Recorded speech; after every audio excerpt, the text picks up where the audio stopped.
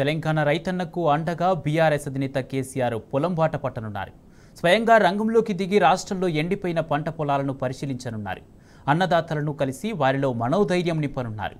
BRS రైతులకు అండగా ఉంటుందని భరోసా నింపనున్నారు. ఏప్రిల్ మొదటి వారంలో కేసీఆర్ యాత్ర ప్రారంభమయ్యే అవకాశాలున్నాయి.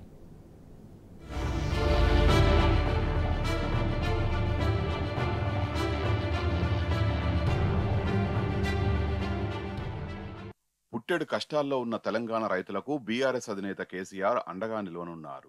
అన్నదాతల్లో మనోధైర్యం నింపేలా పొలంపాట పట్టనున్నారు. ఇటీవల నీళ్ళు లేక ఎండిపోయిన పంట పొలాల్ని ఆయన పరిశీలించనున్నారు. ఏప్రిల్ మొదటి వారంలో నల్లగొండ జిల్లా నుంచి ఈ యాత్ర ప్రారంభించనున్నట్టు సమాచారం. కేసీఆర్ స్వయంగా రంగంలోకి దిగి రైతులను కలిసి వారికి మనోధైర్యం కల్పించడంతో పాటుగా బీఆర్ఎస్ అండగా ఉంటుందని భరోసానివ్వనున్నారు. అన్నదాతల ఆత్మహత్యలకు గులాబీ పార్టీ వారికి అండగా ఉంటుందని ప్రభుత్వంపై పోరాడుతుందని ధైర్యం నింపనున్నారు. అయినా ప్రభుత్వం స్పందించకుండే చలో సచివాలయం నిరసన కార్యక్రమానికి పిలుపునివ్వాలని నిర్ణయించారు.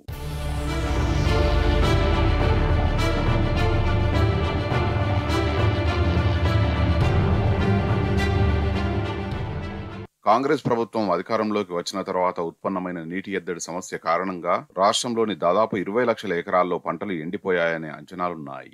ఒకవైపు సాగునీరు అందక చేతికొచ్చిన పంటలు ఎండిపోతుంటే మరోవైపు ఇటీవల కురిసిన వడగండ్ల వానలతో లక్షల ఎకరాల్లో పంట నష్టం జరిగిందని బీఆర్ఎస్ నాయకులు ఆవేదన వ్యక్తం చేస్తున్నారు.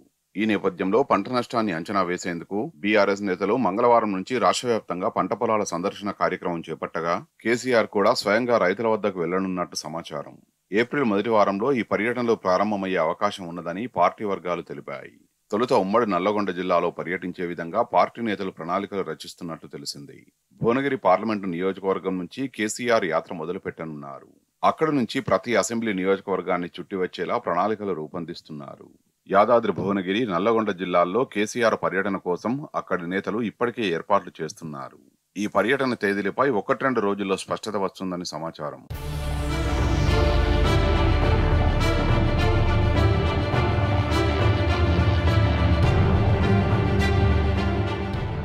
పదేండ్ల కేసీఆర్ పాలనలో ఏనాడు ఒక్క ఎకరం కూడా ఎండిపోలేదని రైతులు బీఆర్ఎస్ శ్రేణులు గుర్తు చేసుకుంటున్నారు. నీళ్ళు కరెంటు కావాల్సినంత అందుబాటులో ఉండేవని చెబుతున్నారు కానీ కాంగ్రెస్ నాలుగు నెలల పాలనలోనే దాదాపు ఇరవై లక్షల ఎకరాల్లో పంట ఎండిపోయిందని ఆందోళన వ్యక్తం చేస్తున్నారు. అటు సీఎం రేవంత్ రెడ్డి ఇతర మంత్రులెవరూ స్వయంగా పంట నష్టాన్ని పరిశీలించి భరోసా కల్పించడం లేదన్న ఆవేదన రైతుల్లో గూడు కట్టుకున్నది.